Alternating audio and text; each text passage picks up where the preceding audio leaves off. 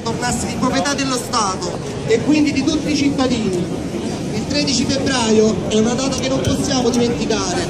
perché c'è stato un attacco forte nei confronti di coloro che con la passione che contraddistingue tutti i giornalisti raccontano e denunciano fatti, circostanze e interessi non leciti il 13 febbraio non è stata minacciata solo Nadia Perfine, ma un'intera categoria di professionisti che ogni giorno cercano di garantire un'informazione libera e reale a tutti i cittadini. Il 13 febbraio ci hanno minacciato tutti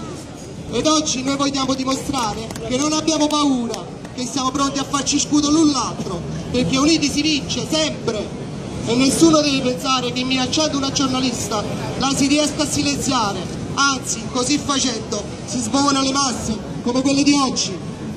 Come quella che adesso abbraccerà Nadia e Massimo che non sono soli e non lo saranno mai io sto con Nadia!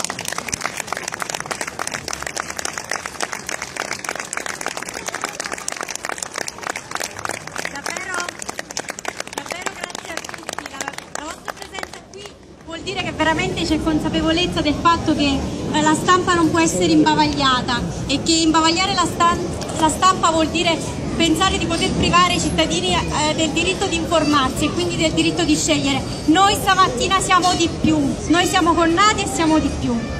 Io ehm, volevo salutare un po' tutti quelli che sono qui perché ehm, dopo passeremo la parola solo a Nadia e a Massimo che sono i protagonisti della giornata. Allora permettetemi di salutare e di ringraziare per essere qui la prefetta Carmela Pagano, il presidente della provincia Domenico Zinzi, il sindaco di Caserta Pio Del Gaudio, il sindaco di Macchiadena con l'intero consiglio comunale, il presidente del consiglio comunale di Caserta Iarrobino con i consiglieri De Michele e Tresca, ovviamente tutti i giornalisti, il presidente dell'ordine Ottavio Lucarelli, il sindacato dei giornalisti rappresentato da Laura Vigiano, Luigi Carrino, presidente del CIRA, Gennaro Migliore, Camilla Bernabei, segretaria della CGL, la consigliera regionale Lucia Esposito, ehm, eh, la, la, eh, Vilma Moronese, la senatrice eh, Gabriella D'Ambrosio, Carlo Scatozza, il Vespa Club, la Casertana, le forze dell'ordine, la scuola, davvero davvero grazie a tutti, il liceo artistico, chiunque ho dimenticato, veramente grazie, grazie. Il primo grande successo l'avete ottenuto. Allora innanzitutto grazie. Eh, per essere qui. Davanti a me, voi vedete, davanti a noi c'è un, uno striscione, questo striscione è stato fatto dalle ragazze e dai ragazzi del liceo artistico San Leucio di Caserta dove ho il privilegio di insegnare. Queste ragazze hanno scritto testa alta, schiena dritta, la cultura che vince, perché, perché da sempre questo è il nostro motto e noi continueremo dopo queste minacce. La cultura che vince è il motto lanciato da Massimo Frai che qui Grazie. stamattina è con noi perché dopo le battaglie ci, ci accomuna anche questa singolare ehm, esperienza, quella di essere eh, minacciati di morte per aver tenuto alta l'attenzione su Carditello, ma siccome lui è più bravo le minacce le ha avute due volte perché anche in questo ci vuole la gerarchia, quindi a lui due, a me una, quindi io vengo come dire in un secondo, sono sul, su un secondo livello. Questo per sdrammatizzare, perché siamo qui stamattina? Siamo qui per dire che noi siamo di più, noi non abbiamo paura, le due minacce di morte che sono state inviate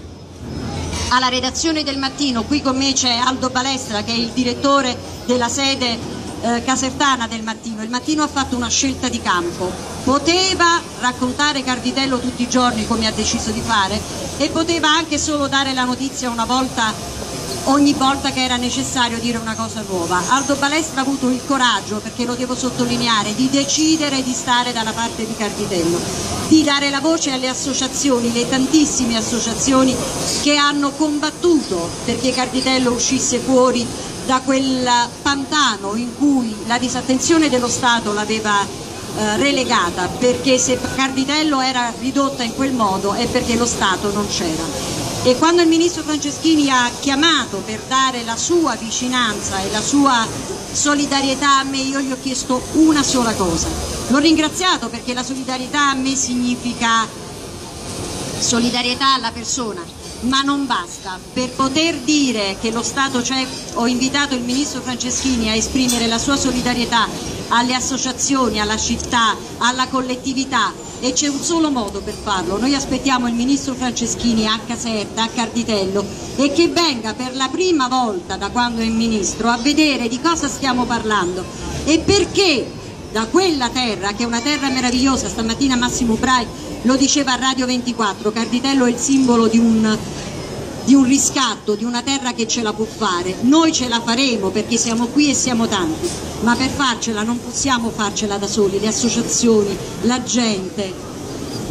i giornalisti non possono farcela da soli abbiamo bisogno di Stato e lo Stato in questo momento per quello che riguarda Carditello si impersona anche nel Ministro Franceschini, si impersona anche nel Primo Ministro Renzi. Allora noi li aspettiamo al varco, vogliamo vedere se questa solidarietà c'è, se è vera, se la condividono e quindi noi tutti insieme da questa piazza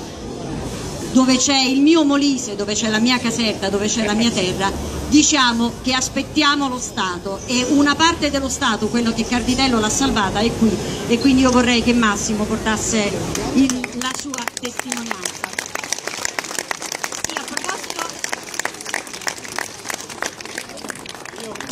Veramente pochissime parole per ringraziarvi. Siamo qui con Nadia, è la cosa credo più importante. Molti grazie, grazie a questi straordinari ragazzi che ci seguono da tempo in questa battaglia civile. Sono tutti segni importanti, il segno che la scuola è uno dei luoghi principali del paese. Quindi grazie ai ragazzi, ma grazie moltissimo ai loro insegnanti. Ho sempre detto che sono una colonna portante dell'Italia. Dobbiamo ringraziarli per gli sforzi che fanno e perché pochi, pochissimi hanno la sensibilità di capire quanto è importante il loro ruolo. Grazie a tutti i giornalisti, un'altra colonna importante del paese, la loro libertà permette sempre di portare alla luce quello purtroppo molto che nel paese non va bene. Grazie anche a tantissime donne tantissimi uomini che sono qui, io sento sempre il vostro affetto che mi commuove. Dobbiamo davvero dire, pensare che dove c'è più Stato c'è meno criminalità e quindi spero, lo spero davvero che tutte le autorità dello Stato avvertano la necessità di venire a testimoniare il loro sostegno alla vostra bellissima realtà. Grazie Adesso ci sposteremo tutti quanti verso il centro della piazza, della piazza con Nadia e Massimo insieme allo striscione e Donotto che abbiamo preparato noi per manifestare la nostra solidarietà vera in un abbraccio collettivo che dedicheremo a Massimo e a Nadia.